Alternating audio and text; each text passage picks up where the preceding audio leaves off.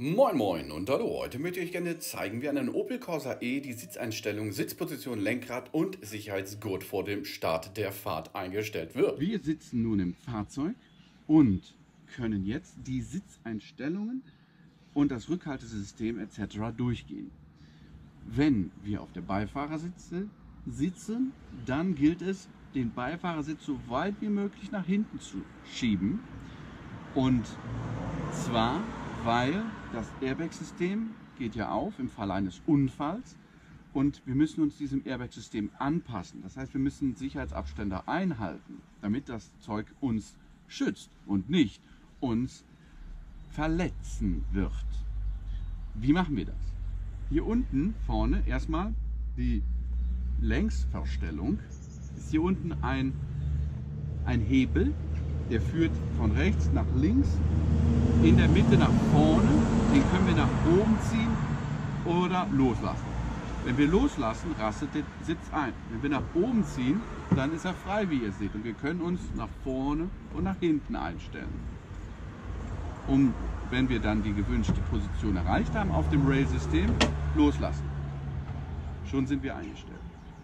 So, das heißt also, wenn wir richtig sitzen wollen im Opel Corsa E, mit dem Gesäß möglichst weit Gesäß, hinten an der Rückenlehne dran. So. Der Abstand zwischen dem Sitz und den Pedalen ist auch wichtig. Motor ist aus.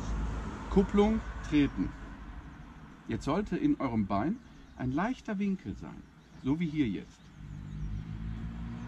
Wenn ihr zu weit hinten seid, können wir die Kupplung gar nicht mehr durchtreten, weil dann müsstet ihr so treten. Zu weit. Wenn wir zu weit vorne sind, dann ist der Abstand zum Airbag nicht gut.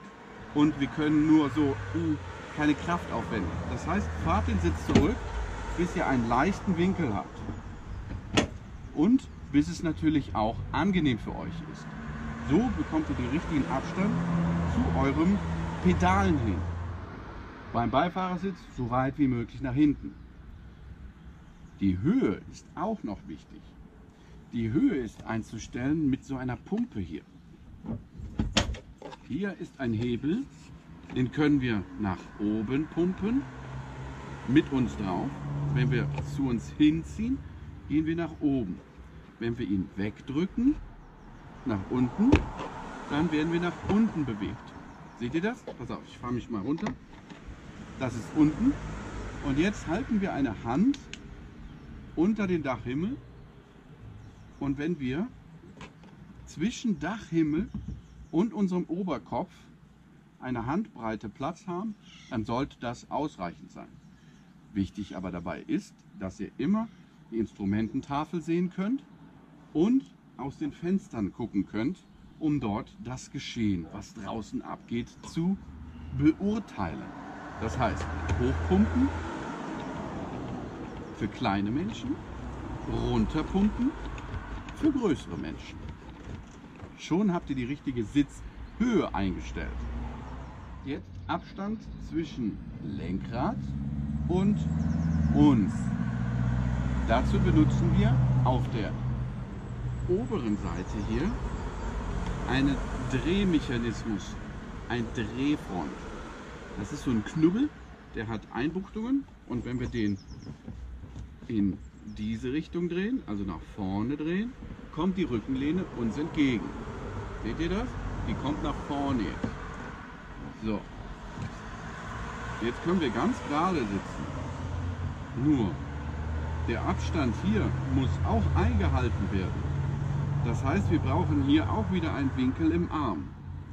Ergo lassen wir jetzt die Rückenlehne so weit nach hinten in diese Richtung drehen, rückwärts, bis wir für ungefähr gerade Arme rechts und links am Lenkrad haben. Diese Arme sollten aber nicht ausgestreckt sein, sondern ca. 25 Grad gewinkelt sein. So. Die Schultern sollten immer Kontakt zur Rückenlehne haben und dann 25 Grad hier als Winkel ungefähr und Sicht nach vorne, Sicht nach rechts, Sicht nach links und dann könnt ihr das Lenkrad mit Kontrolle bewegen. Ganz wichtig, nicht durchgestreckte Arme und auch nicht zu stark angewinkelte Arme. 25 Grad sind sehr gut, weil diese 25 Grad sind dafür da, dass ihr den, den Winkel, das Ein- und Ausfedern benutzen könnt, um das Lenkrad zu drehen. Schultern immer an der Sitzlehne anschultern, gerade sitzen und rumfahren. Nice. Um das Lenkrad einzustellen, könnt ihr diesen Hebel nach unten zum Ausglocken benutzen und danach könnt ihr das Lenkrad nach oben und zu euch hin bewegen. Wenn es frei ist, könnt ihr ziehen und drücken. Ziehen, drücken, hoch, runter. So könnt ihr das machen und einstellen, dass ihr zum Beispiel zwischen dem Lenkrad auf die Armaturenbretter gucken könnt. Das heißt also, stellt euch ein, setzt euch hin, 25 Grad, död, död, död, haltet das Lenkrad rechts und links fest, gerade sitzen, alles checken, hier unten leichter Winkel, hier leichter Winkel, wir sitzen gerade, Gefäß ist an der Rückenlehne dran und dann, wenn wir die richtige Einstellung haben, Instrumente seht ihr, rausgucken könnt ihr, dann zieht ihr den Hebel wieder an und das Lenkrad ist fest. So kriegen wir also die richtige Sitzposition hin. Yeah. Einstellung der Kopfstütze ist auch ungemein wichtig. Wenn ihr nämlich in einem Unfall verwickelt werdet und dort Kräfte nach vorne und natürlich nach hinten wieder entstehen oder zur Seite, ist es jetzt bei den Kopfstützen nicht so tatsächlich, aber vorne und hinten. Und da wäre keine Kopfstütze, wenn ihr die abmachen würdet, dann würde euer Hals Schaden nehmen. Dann würdet ihr ein Schleudertrauma erleiden. Deshalb ist es wichtig, dass ihr die richtige Einstellung dieser Kopfstützen einhaltet. Ihr könnt die Kopfstützen nach oben und nach unten fahren, um sie dann zu nutzen. Dazu gibt es auf der linken Seite einen Knopf. Wenn ihr den drückt, dann könnt ihr das Teil bewegen. Wir bewegen das Teil jetzt. Das ist die höchste Position. Das ist die niedrigste. Jetzt wollen wir es einstellen auf uns. Wir setzen uns auf den Fahrersitz in unsere Position, halten wieder die Hand drüber, gerade und sehen dann, hier ist noch ein Abstand von circa 5 cm. Jetzt drücken wir und fahren nach oben, bis wir einen geraden Abschluss zwischen unserem Oberkopf und der Kopfstütze gefunden haben. Das ist die richtige Einstellung, weil so schlagt ihr im Falle des Falles hier in der Mitte der Polsterung ein und werdet gebremst. Ganz wichtig. Des Weiteren müssen wir jetzt noch die richtige Höhe des Gurtes einstellen. Der Gurt wird, wenn ihr auf der Fahrerseite sitzt, mit dem rechten Arm geholt. Dann zieht ihr euch den Schließer hoch und fahrt ihn hier unten zum Schloss. Die Einstellung jetzt für eure Höhe könnt ihr hier hinten fabrizieren. Dazu einfach nach unten drücken und dann könnt ihr den Sitz, den Sitz des besagten Sicherheitssystems so einstellen, dass es euch passt. So, das ist zu niedrig. Ihr seht, hier ist mein Schultergelenk. Jetzt läuft dieser besagte Sicherheitsgurt da drüber. Keine gute Idee, weil im Falle eines Impacts würde hier ein Gurtstrafsystem anfangen und ich würde dann nicht so richtig gesichert sein und könnte hier rausdrehen mich. Das heißt, in meinem Fall, ich bin etwas größer, 1,80, müssen wir also wieder nach unten drücken und etwas nach oben ziehen. Jetzt sind wir ganz oben und er läuft hier vorbei. So werde ich dann durch das System schön gerade gestrafft durch den Beckengurt und durch den ähm, Gurt, der über meinen Torso führt, geschützt.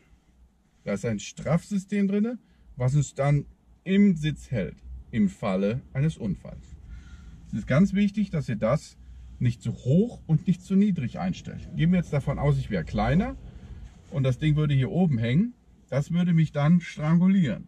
Das heißt, es sollte wirklich von der Schulter rüber diagonal zum Schloss fahren.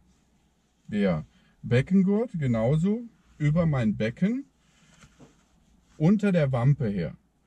Wenn ihr zum Beispiel schwanger seid, packt die Wampe drüber, weil wenn ihr die nämlich einklemmen würdet, wäre das nicht so angenehm für das noch nicht geborene Kind, glaube ich. Also lieber Wampe drüber, damit dann euer Becken den meisten, ähm, den meisten Stoß abfangen kann.